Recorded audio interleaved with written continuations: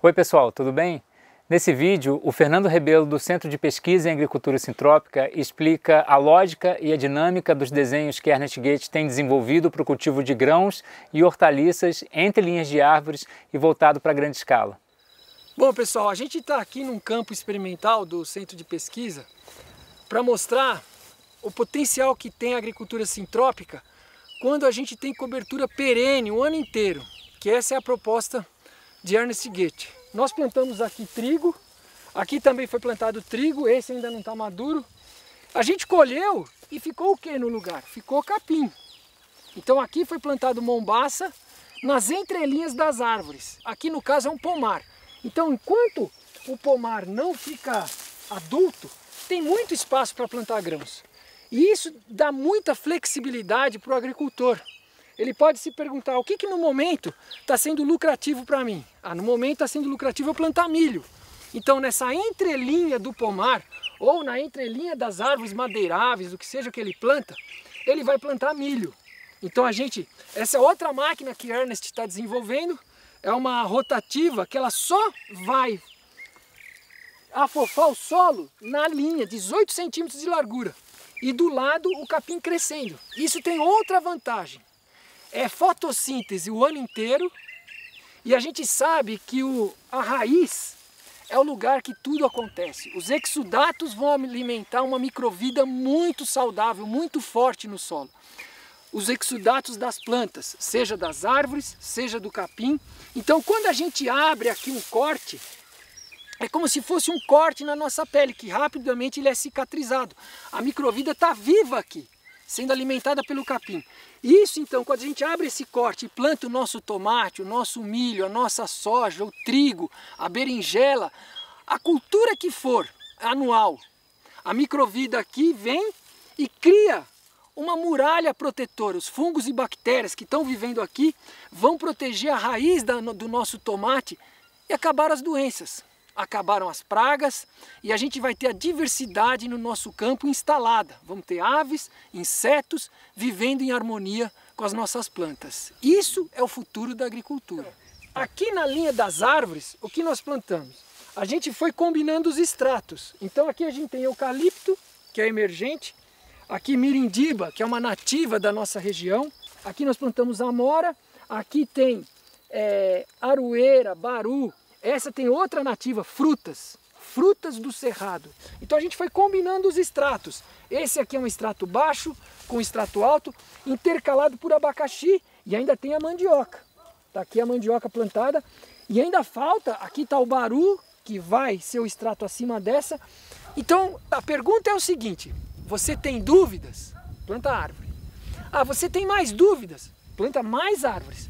Mas se você tem muita dúvida, planta muita árvore, porque quanto maior a densidade, maior vai ser a chance de você ter liberdade de escolher quem fica e quem sai. Se você plantar poucas árvores, você vai ficar amarrado. Se essa aqui morrer, você ficou com um buraco. Não, mas se essa aqui não for bem, está aqui o baru, que é outra fruta do cerrado extrato alto. Então, planta em alta densidade. Isso é o mais difícil das pessoas entenderem. Mas é o, nossa, o nosso pulo do gato plantar em alta densidade e podar. As árvores aqui que nós estamos plantando com as frutas, muitas são árvores para podar, como esse pau d'alho aqui, ó. É uma árvore que está indo muito bem aqui no cerrado, extrato alto, e ela é uma árvore, não dá fruto, mas dá uma madeira e ela vai ser podada, assim como esse eucalipto vai ser podado. E toda essa maravilha é triturada, isso vai ser mecanizado, essa maravilha é jogada nas entrelinhas. Então, o melhor adubo que existe é oriundo de lignina. Só com lignina nós conseguimos criar humus estável no solo. Então, tem que plantar árvore, porque a lignina vai criar humus estável e vai criar basidiumicetos e vai criar fungos. Se você olha a evolução dos solos, quando a gente começa numa área degradada e chega em floresta, na floresta a gente tem muito mais fungos que bactérias. Então nós estamos simulando a estratégia da natureza de criar floresta e estamos criando florestas de alimentos. Tem que ter árvore para produzir lignina, para ter fungos, para ter um equilíbrio e uma vida saudável no solo. E até essas árvores fecharem essa entrelinha, nós vamos fazer 4, 5 anos, 6, plantando hortaliças, tomate, berinjela, giló, brócolis, tudo que você imaginar. Por quê? Aí você vai pensar, não, mas como que eu vou plantar hortaliça no meio do capim? Imagina o seguinte, a gente planta aqui uma linha de tomate, alternando com milho, tomate, milho, tomate. O capim cresce, durante o ciclo do tomate, no inverno, a gente já fez experimentos, nós fazemos dois cortes. Dois cortes no capim e o tomate está bem marcado, é uma linha reta. Então você vem com a roçadeira, mecanizado, corta o capim. Isso vira comida para os micro-organismos. No verão, você vai dar três, quatro cortes. Mas essa é a grande vantagem de manter o solo coberto e um dos, uma das técnicas que Ernest Goethe usa é otimizar a fotossíntese e solo coberto. Então, com capim a gente vai ter sempre o solo coberto, com raízes vivas e fazendo fotossíntese. Aqui nós fizemos um experimento, a gente semeou o capim em linha. Mas você pode começar, planta um pasto, como qualquer pessoa vai plantar um pasto para gado, homogêneo, espalha por completo. Aqui nós fizemos manual, mas quando a gente espalha por completo, o primeiro ano você planta pasto, no segundo ano você entra com a enxada rotativa fracionada, só vai afofar essa linha. Aí a máquina que Ernest está desenvolvendo vai o quê? Corta o capim, joga o adubo, rotativa e atrás vem plantando. E esse capim que foi cortado ele cai dessa maneira aqui assim. A máquina vai fazer tudo isso. E aí seja a soja ou milho cai aqui. Com esse capim já triturado nós não vamos precisar mais usar herbicida. Isso hoje é o tripé que os agricultores mais avançados aqui no Brasil estão fazendo. Eles estão usando Inoculação de micro-organismos mais variados possíveis. 200 bactérias, azospirillum, bacilos subtilis, muitos micro-organismos. Estão fermentando, on-farm, produzindo na fazenda, multiplicando. Pó de rocha para remineralizar o solo e cobertura. Só que eles não conseguem se livrar do herbicida. Eles matam as plantas de cobertura com herbicida e durante o ciclo também Muitos ainda plantam transgênicos, usam herbicida. O herbicida mata a vida no solo. Com essa estratégia criada por Ernest Goethe, não. Esse capim cai aqui, só vai ter uma fresta onde vai nascer o milho, onde vai nascer a soja e durante o ciclo da cultura, mecanizadamente se corta o capim e acumula aqui. Então acabou. Não tem mais zero herbicida, zero veneno.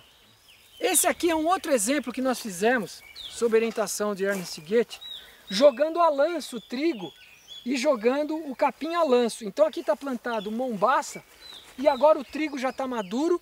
Assim que a gente colher o trigo, vai ficar um pasto instalado. Isso foi a lanço. Nós fizemos duas operações. Jogamos o capim a lanço, o trigo a lanço, aí passamos o, o rastelo só para incorporar a semente levemente e virou essa beleza aqui, ó. A gente vai colher o trigo, ele já está quase no ponto de ser colhido, tem umas hastes verdes. Colher o trigo, já se estabelece um pasto de mombaça na entrelinha do pomar. Ao invés da gente ter terra nua e a morte da microvida no solo, a gente vai ter um pasto de mombaça recebendo as chuvas da primavera que ele vai crescer, vai ficar aqui com dois metros de altura. E a gente vai roçar esse capim, uma vez coloca na entrelinha das árvores, outra vez coloca para adubar o campo e com a possibilidade de agora, entrando o verão, a gente plantar culturas de verão aqui. Então plantar milho, planta tomate, giló, quiabo. Você pode decidir o que está melhor agora. Ah, é quiabo? Vou plantar quiabo. Isso dá uma flexibilidade, uma liberdade para o agricultor muito grande. O tempo inteiro terra coberta, o tempo inteiro terra produzindo. Esse aqui é um outro exemplo de a cobertura viva associada com as hortaliças. Então aqui nós plantamos, ó, tem repolho, brócolis e crescendo entre as hortaliças nós temos aveia, porque como a gente está no inverno, o inverno está terminando, esse é um capim que cresce muito bem no inverno. E ele se dá muito bem com as crucíferas. Então, no inverno, o capim, as gramíneas africanas crescem muito devagar. Ao contrário dessa cultura que é a aveia branca, que ela vai muito bem, cresce vigorosa no inverno. Então é uma que pode ser consorciada com as crucíferas, porque vai fazer fotossíntese, a gente vai dar vários cortes nela e isso vai alimentar a microvida do solo. Então essa é outra possibilidade, né? De a gente intercalar com os nossos cultivos de crucíferas a aveia no inverno. Então aqui nós já plantamos, ó. Aqui foi um campo de aveia. Nós plantamos agora, colheu a aveia, roçou. Nós não temos a máquina ainda, nós fizemos manual. Colocamos esterco aqui e plantamos quem aqui, ó? Feijão de 60 dias, quiabo, tomate e ainda daria a gente quiser espetar uma mandioca aqui, ó. Porque quando o quiabo sair, vai ter a mandioca. Quando o tomate sair, vai ter a mandioca. Agora, a gente só tem que manter esse capim baixo até o quiabo ganhar altura, o tomate ganhar altura. E a gente pode usar até uma maniva aqui espetada para ser o tutor do, do tomate. E acabou. Solo coberto o ano inteiro e a produção de hortaliças só na linha nesse espaçamento que aqui são 4 metros, nesse teste que a gente fez aqui. Então, tá aqui ó, abacate, eucalipto, gabiroba. Enquanto as frutas não crescem, a gente vai plantando grãos ou hortaliças na entrelinha do pomar.